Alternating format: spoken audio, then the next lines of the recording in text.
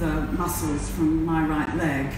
So um, that in itself was a huge discipline to try and get back to where you are um, and start to win competitions again. I like the competitive aspect of it as well. So as you were starting do ballet and you're learning about ballet itself, I mean, was the ballet you, you liked? What, what aspects of the ballet did you like? Was it what, was it the discipline of it? Was it the sheer, in a weird way, the freedom of the dancing, it as well, and, and specific ballets that you really liked, and the ideas and what it was trying to like present? I think it, it starts with a lot of things. We've all got this in common. We've probably all got heroes of some sort. And my, one of my greatest heroes was Margot Fonteyn. Um, so I wanted to emulate her in, as best I could. And um, it was the fantasy. You know, she was an amazing dancer, not just for her technique, but the fact that she had this wonderful uh, charisma, which is the difference between being just a ballerina and being a prima ballerina. And she was the absolute top of her, her game and went on for years and years.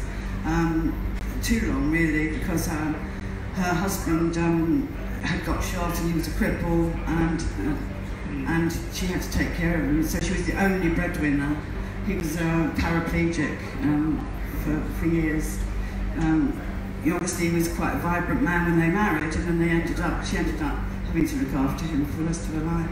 Yeah. So she carried on, and uh, what it just shows you what amazing uh, uh, strength she had, mind of mind and of body. But also, to answer your question, it's the fantasy aspect of ballet. You can transport yourself into another world. Um, and most of the ballets that you see, you, Swan Lake is my favourite probably.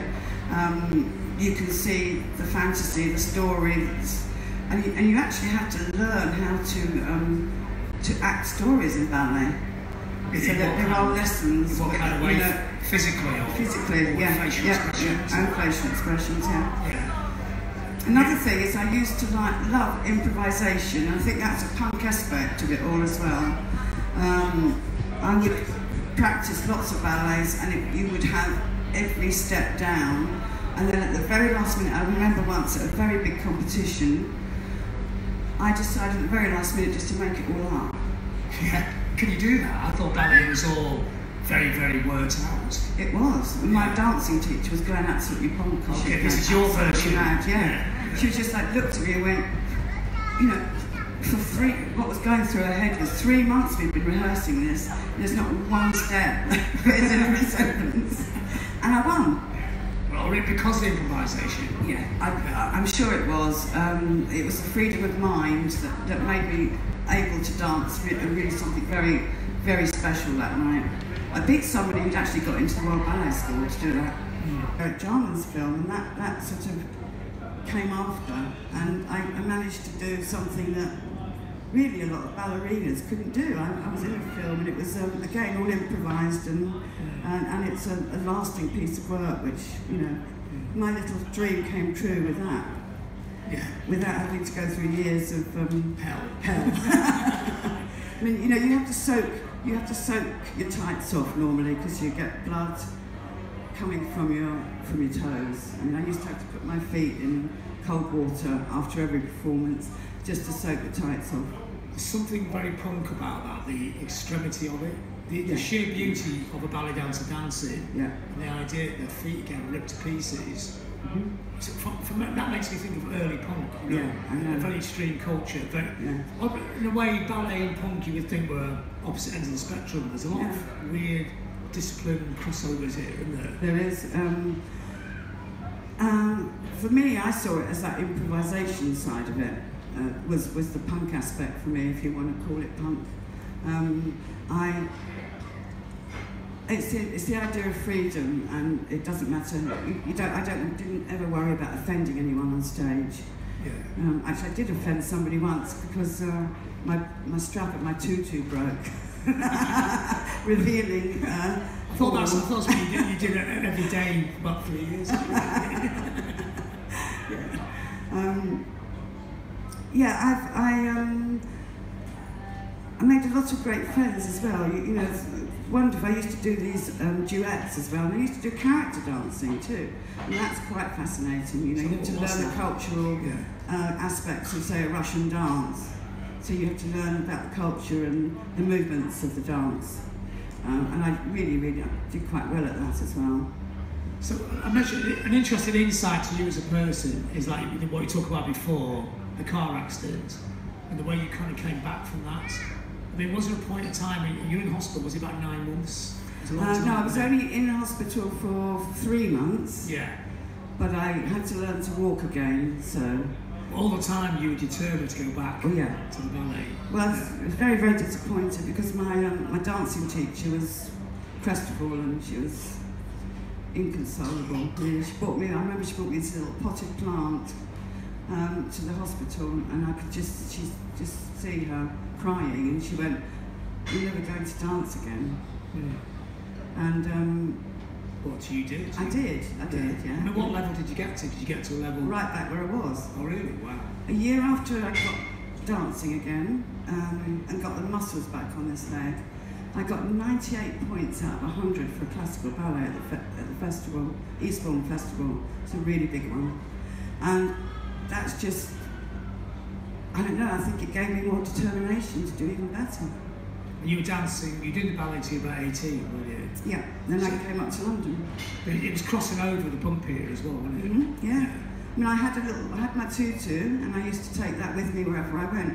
So if there was a, it was in a little box, and um, I used to, whenever I moved flat in London, it was there. You know, it was it there when Johnny Thunder stayed. You know? it was forever a bit of my uh, my life, I guess. Yeah.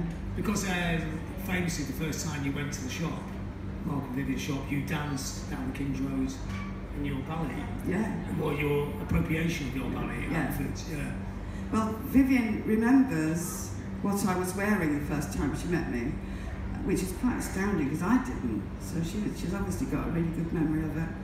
But it was my ballet gear. I used to just wear tights and my leotard and a lovely pair of really high stilettos, uh, my hair right up. Um, uh, and I used to, you can see those early photos that Sheila Rock took actually, you can see it's almost a athletic pose outside the shop. And um, Vivienne said, oh, you know, um, she never used to dance in the shop. And I obviously did, but never when she was there. used to dance around all over the place in there. yeah. And that, that was till you were 18. Yeah, Yeah. yeah. I mean, 18, 19, danced all the time. I did a, also, I did a dance at um, Andrew Logan's. Or the, the Pistols gig. yeah. Yeah. yeah. I mean, was that just a spontaneous thing, or was that what you asked to do? I, I was asked to do it, Yeah. yeah. yeah, So everyone went in a big circle around, and I had a sort of ready-made stage for me on the floor. It's really good. So another sort of odd crossover. Otto Preminger was there. Really? Yes. yeah. But Vivienne knew, didn't she? she did. She, she, she actually taught you to a ballet, didn't she? she did. Um, don't know if anyone remembers. You can see some old shots of this um, shots of the shop where there's a, Chi- a woman from the Chinese ballet. She's all in red and she's doing a great big leap with this um, wonderful costume on. And she obviously had this in her mind as a beautiful image. She didn't know anything about ballet as such, but she had this in her mind as a beautiful image. And um, one day out of the blue, she just said, "Well, um, would you like to come out with me? I've got us two tickets." And she took me to the Cuban ballet. Um, and when you think how many years ago, I, I can remember so much about that. Mm. It was just took your breath away. I mean, these male dancers were just stupid. I mean, you were saying, weren't you, about the, the Cuban Even when they Men, walk, yeah. they look like they're dancing. Yeah. You know, it's like they were flying, literally flying through the air. Uh, and with such power and also, you know, bravado, it's, it's a wonderful. I mean, I was, I was saying earlier, wasn't I, that, you know, you cannot have false modesty if you're going to be somebody that's that famous and beautiful. Mm. You have to really, really um, tell everybody that you're the best. I mean, that's interesting you're saying that. This idea that to be the main ballerina, you have to tell everyone you are the main ballerina. It's, uh, Yeah. It seems like an incredibly egotistical backstage, but is it? That's just the way it is. That's just what people expect. most of people, the women in a corps de ballet, which is the, you know the ballerinas that, that um, make up the chorus, so to speak, and the backdrop of the prima ballerina. They, you, you can see it when you go to the ballet. Um, they all look on in amazement, you know, and they're actually looking. Oh, like as fans. Yes. Yeah, yeah. yeah, yeah, yeah. They're, you know, happy. And one day, you know, they might be that person. Yeah. That's what they're aspiring to. So they're looking at every movement that that dancer does, um, and you know, one day might emulate it. But it's, it's more than just learning the moves, isn't it? They, they've got to have that little extra thing, like Nureyev, Yes, he had, he ticked every box. he did. He did. Yes. So what, what would he have that make him extra to... Well, Rudolph Nureyev came into into 430 Kings Road, and even oh, he dressed so awfully as well. I couldn't believe what he was dressed like. what was he wearing? He had a safari suit on. Oh, on, Only Bryan Ferry really, get away with really, that. really Yeah. bad. And he Yeah. had this dreadful cap on as well. It was really awful. Did you uh, have a word? No. That, well, that's not like you. I thought, I thought you were quite stern. I just, you know, I just looked at him and I thought, "Uh, what can you say? There's nothing right about this. you look like Tony Curtis out of Persuaders. And how did he come into buy anything at all? Yeah, he'd come in uh, with his boyfriend to, to look at the leather gear, I think. From Yeah. But you know, even as he walked into the shop, I, you could see the way he held himself. So despite everything, Yeah. he still looked like Yeah, the number one. So, Yeah. yeah. yeah. It's it's um, it's a sort of 24 hours a day charisma, I would say. You know, it, it's it's not put on. It's it's how he was, and most dancers are like that. They have that. So in, in a way, he, he knew he was so good, he could wear the worst clothes possible. I'm hoping that I've been clinging So- on to so that you'll get out. Were you not tempted to tell him that you I do a little bit of ballet, you know? Uh, oh no, no, it'd be even worse than say to Frederick Ashton. Crikey, no, keep, keep stum about that. No way I would have said that. Yeah. But he probably would have recognised that you do see. I can tell people who've done ballet in the. Oh, is it, so it really is like a bit like the Fight Club, isn't Yeah, it? you can, you Like a nod and a week. Yeah, Yeah. you can. yeah. You see it in hand movements, and uh, uh, the most amazing thing about ballet is that I know that whenever you see a, a female dancer in particular who has to go on point, they are going through absolute agony at every minute. Um, and yet the, the, the trick is to have your uh, face in a relaxed uh, uh, but powerful stance. And Do, you- do you have to learn that? yes, The teacher. yeah, yeah, always, yeah. So what, what's that face? Just do the face. Well, you have, you have to always elongate your, your neck Mhm. and keep your shoulders down, which is so hard when you're in pain because you, people always tend to want to do that. So which bit's harder? The, the feet hurting or having to like, look Well- like they're not hurting? Yeah, you've got to sort of separate the top of your body from the bottom. Mm-hmm. Um, and you have to imagine that you've got a, a steel rod, a core that's going right from the top of your head. My dancing teacher used to say, tap me on the head like this. And that you, then your, your brain sort of says, okay, it's going all the way down my spine. Wow, it's, it's, it's tough, super tough. Yeah, I mean, uh, you know, bang your legs apart and Oh, they actually yeah. hit you in? Yeah, yeah, yeah. I mean, not not bad, but No, know, but just reminding you a lot. push it out. Yeah. I mean, why, why did it end up like that? Why did it end up being such an extreme sort of disciplined way of moving? You know, for the original history of ballet. Why, obviously, when it started, it would been one thing, and it's got more difficult as it's gone along. Yes, yeah, it, it has. I mean, now nowadays it's even, you, you see male dancers on point, Mm. which again is very very difficult because they they're heavier, um, and they've obviously got longer feet as well, which is very difficult. I, I tell you just quickly, I saw a really great program um, the other day. It was just about shoes actually, but um, when you get a pair of point shoes, I actually went to Frederick Freeds, who still makes the, these ballet shoes now. They've been going for 90 years, I believe, um, and they're in the West End in, in London.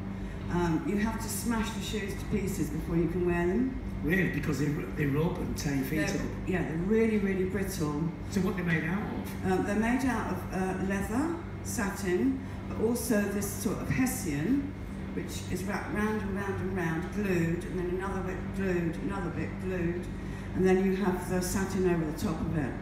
Um, and they have to bash it to make it um, the actual point flat. And, and the way that a ballet shoe is balanced is that they can stand it up and it stays there. Um, but you can't dance on with them unless you've actually personalised them. So I used to just rock them back and forward and break the back off them so that your arch would fit into it. And how long do they last for? I mean, if you break them, they can't last that long. Uh, well, some ballerinas, uh, a pair of shoes will last for one performance. Wow.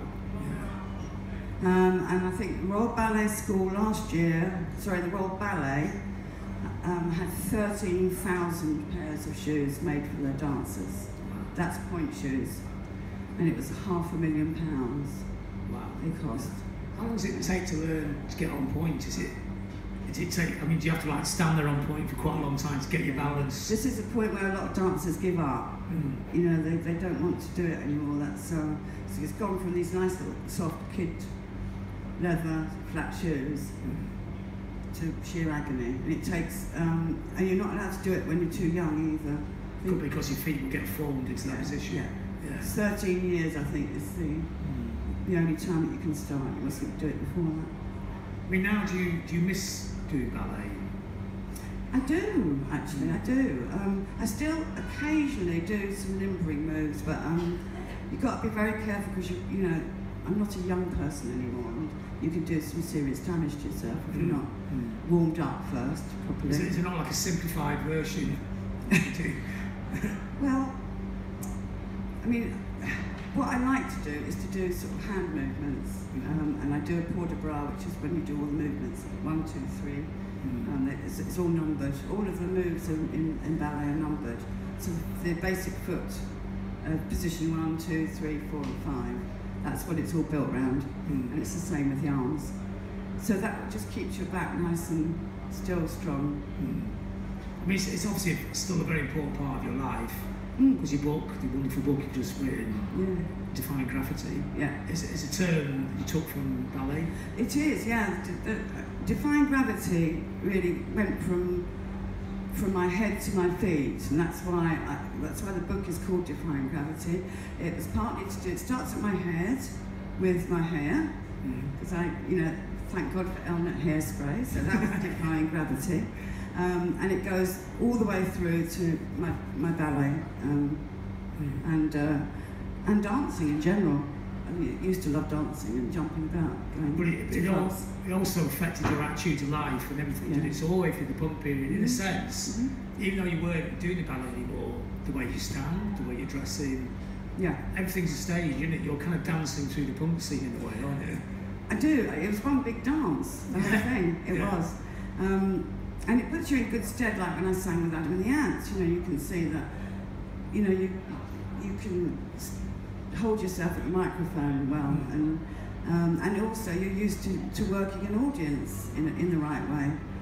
Um, Was, was Adam fascinated with your ballet? Yes. Yeah. So yeah, what, what was very much. what was yeah. what aspects of it fascinated him? Well, he, the power of it. Mm. Um, I used to use his, um, when he lived in St Mark's Crescent, he had this really great fireplace, which was made for him, a wooden fireplace. And I used to use that as a bar. Mm. So I would hold on to it and I'd get him to push my leg up as far as it would go. But you have to do it gently, otherwise you can yeah, hurt repetitive. yourself. Yeah, yeah. But you know, that's pushing it right up high. Mm. And he loved it because, again, he's a very disciplined man. Um, and uh, he understands going through pain. Um, and The it, it re- resonates with him. So the intensity of ballet was something that was. Because we talked about before, the idea when people did a ballet performance, it had, it's utter, about utter perfection, isn't it? Yeah. And that's the same as a performer like Adam. It's what, he would be cursing himself about a mistake he made 20 years ago or Yeah. something. Yeah. I mean, I, I remember once, Adam did um, this great, great gig in at uh, Radio City in uh, in New York. It's a famous stage because it's it's had the Rockettes on it, all those dancers.